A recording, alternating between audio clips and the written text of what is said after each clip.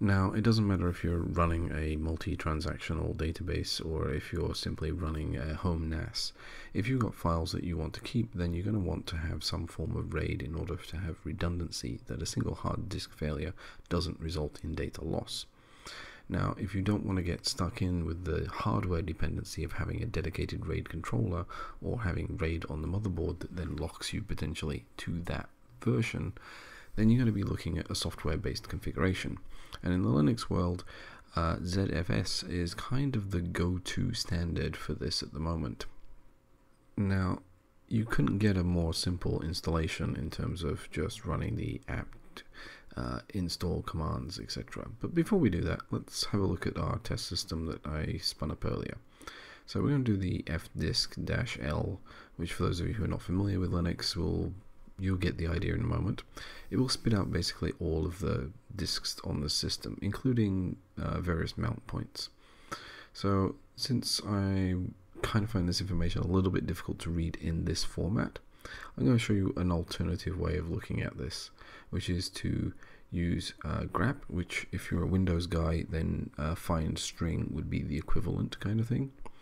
So to use grep to basically just tell us get all the disks so in this case, uh, we just add I think grep, and then we say, okay, our starting characters for the disks in this case are SD, and then we're going to put behind it the brackets of getting every letter between A and Z. And you can put a number in there, which if we had partitions, we would be looking for. But in this case, we're just going to go without the partitions and give us the disk output because that's what we're getting.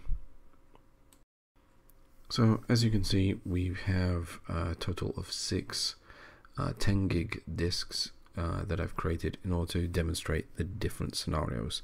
So four of these I'm going to use in my RAID 10 set, and I'm going to use a couple of spares and also logging and other things, but we'll get to that later. So the first thing is to go off and go ahead and install ZFS. Now there is plenty of options here. You don't need to use the package that I'm using. In fact, uh, depending on what you're doing, it's better not to use the package I'm using. So the ZFS um, Fuse works fine if you're building a standalone home media server as an example. But if you want to use Docker or some other slightly more industry standards, use the base package, so just the ZFS. Um, you don't need the whole fuse part. It's it's redundant for those kind of things and it's better maintained from the support point of view. So just keep that in mind when you're picking a package. Now, first thing I want to do is now go ahead and create my RAID 10 pool. Now, I could create a RAID 5, I could create a RAID 6.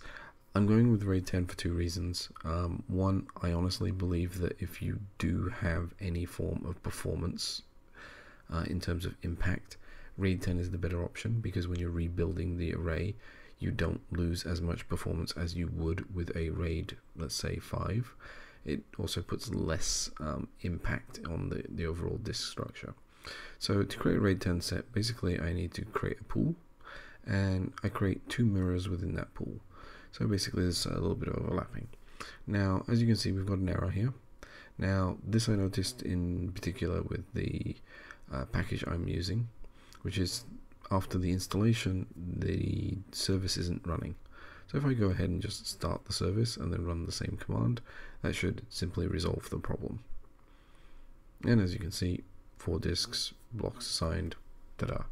We now have a pool created. So I'm just going to show the output for the pool very quickly to prove that it is running and all is fine. So as you can see, my pool is set up of two mirror sets and that the total storage, if I was to list storage, would be exactly half of the four disks. So next up, we're going to try something a little bit more um, complicated. We're going to add a spare. So you could have a another disk on standby in the eventuality that a disk was to fail. So you could have basically a hot spare. So we can add to the existing pool and then the name of the spare using spare as the command so we know what to define it as, and then just the disk. And if we look at that, we can see there's our spare added. Now, another option that you might want to use is to replace a disk. Now, sometimes replacing a disk is simple, other times mm, not so much. So let's look at the, the basics. If we replace a disk, you need to tell it which pool and which disk it is that you want to replace it from. Now, if it's a straight uh, replace one for one, let's say you had a hot pluggable disk, you pulled the disk out, you put a new disk in, um, you don't need the second disk specification. You would just tell the disk that you're replacing because the drive theoretically will have the same ID. So in this case, I'm trying to replace with one disk with another. And as you can see, I get an error. Now, as always, I like to keep the errors in because it's good for everyone to learn what these errors are and how they effectively look because even sometimes the documentation doesn't reflect the, the correct uh, syntax. So here's an example, it's telling me I can't remove the disk because it doesn't understand which disk. So if I put the slash dev slash and then the disk ID, it in fact then understands what I'm looking at. And if we then do a quick list, you can see that the disk is in fact being swapped out. So this sometimes is an example of how syntax can be very important and documentation isn't always 100% clear. But again, it can vary from package to package, so keep in mind that you may get different results. So next up, we're going to look at the other two options which are open to us at this point, which is the caching and the log. Now, to understand the caching in the log, we need to kind of take a quick detour. Caching improves read performance. So basically you can use an SSD or an NVMe drive, something that's faster than your regular hard disks, and effectively cache data there. Now the other side of this is a, a, log function. So the log function, similar thing, it allows faster writes. So depending on your need, you might use one or the other, or potentially both.